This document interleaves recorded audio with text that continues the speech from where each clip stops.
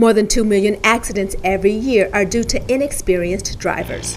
These accidents are the number one cause of teen deaths. The good news is that most of these deaths are preventable. To try to cut down on these tragic crashes, Michelin Tires has launched the Beyond the Driving Test campaign. A recent study by Michelin found significant gaps in teen road readiness, including tire related safety knowledge and skills.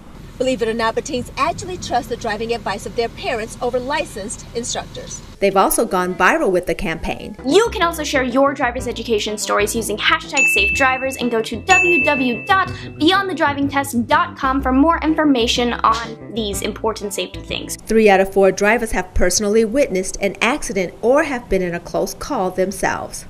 The current goal of Beyond the Driving Test campaign is to have all 50 states include some form of tire safety information in the driver's education curricula by 2020. In Ishpeming for ABC 10 and CW5, I'm Danielle Davis.